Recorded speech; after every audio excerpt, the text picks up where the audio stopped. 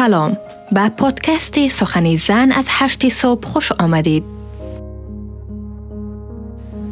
خاطرات خوب مکتب. روایتی از معصومه اکبری.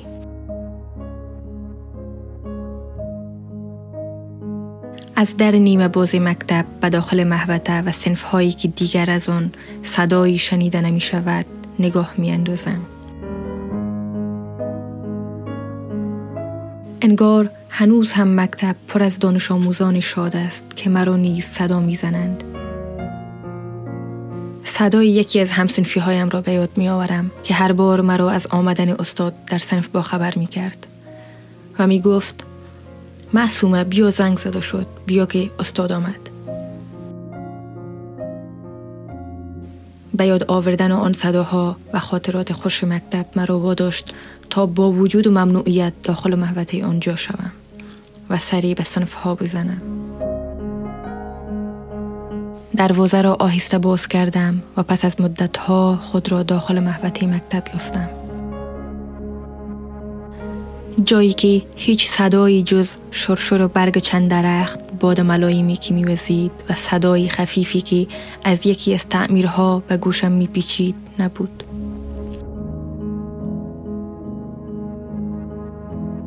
انگار آن صدا بار دیگر مرا فرا می‌خواند و می‌گفت که باید عجله کنم و در غیر آن صورت استاد به داخل صنف اجازه نمی‌دهد. یاد روزهای خوب و مکتب و صداهای خفه شده همسنفی هایم که دیگر نیستند برایم خیلی درد آور بود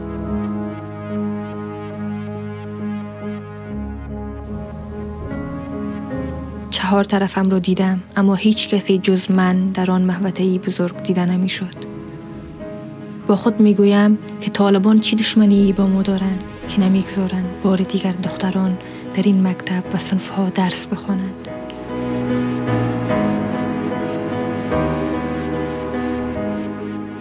به خود می آیم و دیگر آن صدا را نمی شنوم. با احتیاط قدم بر می دارم تا ملازم مکتب که در حقیقت دلم برای دیدن او و سر و صدایش نیست تنگ شده را دور بزنم تا نفهمد کسی داخل مکتب شده است.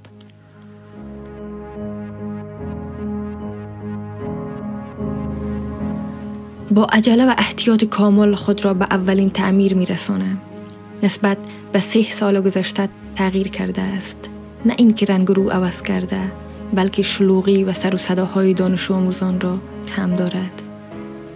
من که روزی آن تعمیرها را پر از دانش آموزان دیده بودم و اکنون هیچ کسی در آنجا دیده نمی شود برایم عجیب و بیگانه بود. انگار هیچ چیزی شبیه گذشته نبود. های خالی و تعمیرهای ورشکسته نیز دلتنگ دانش آموزان شده بودند.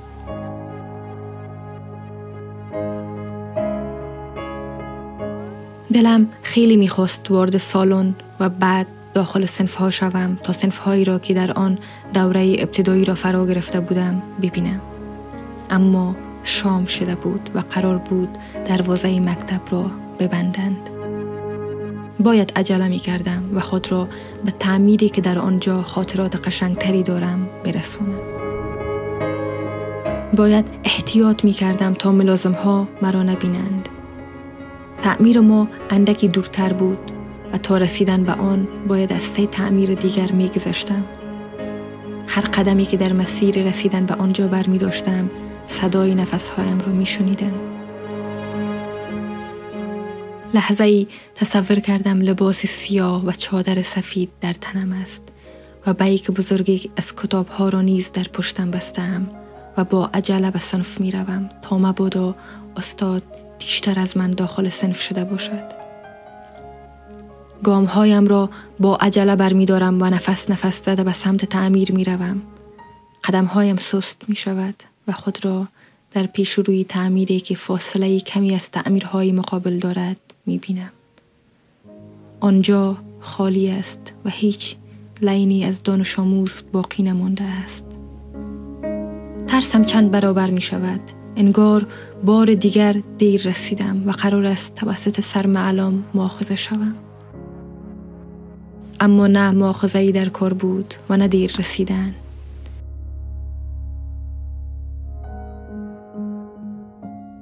سه سال است که شدیدن به خاطر جنسیتم مؤاخذه شدم این بار نه تنها مرا بلکه همه دختران کشورم را سی پارچه جبری دادند همان پارچه ای که به خاطر بینظمی شدید از سوی مدیر با آن اختار داده می شدیم و در صورت مراعات نکردن مقررات به عنوان بدترین دانش آموز شناخته می شدیم و تا آخر از رفتن به مکتب محروم می شدیم.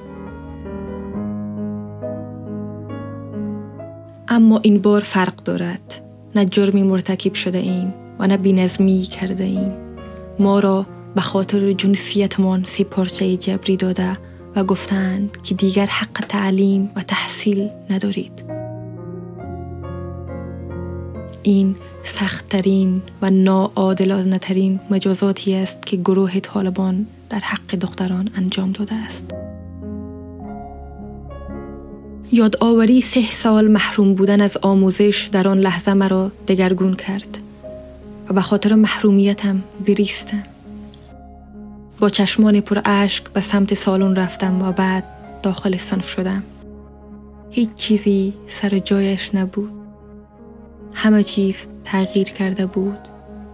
صنف بینظمتر و کسیفتر شده بود. چندین جای تخته سیاه تخریب شده بود. جدول و پوسترهایی را که در روی دیوار نصب کرده بودیم هیچ کدام سر جایش نبودند.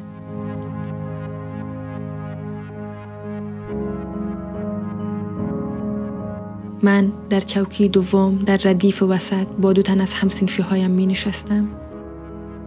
اولین چیزی که به ذهنم رسید جستجوی میز چوکی بود که در آن من و دو دوستم در گوشه میز اسمهای خود را نوشته کرده بودیم تا کسی چوکی ما را نگیرد.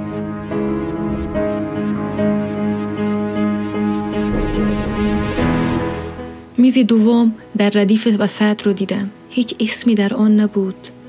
مثل همیشه فکر کردم شاید پسرها یا دختران پایین تر از سنف ششم که در آنجا درس میخواندند چوکی و میز مرا تبدیل کردند.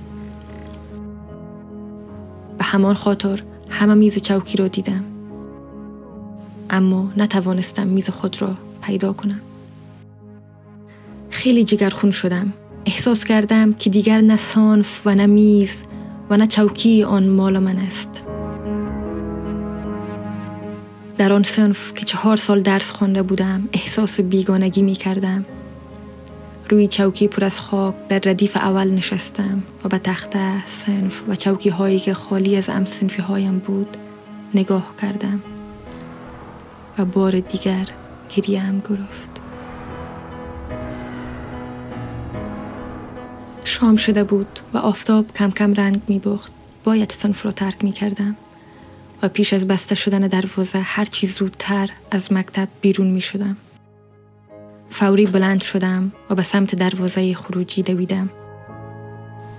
ملازم متوجهم شد و صدا زد که باید بیستم.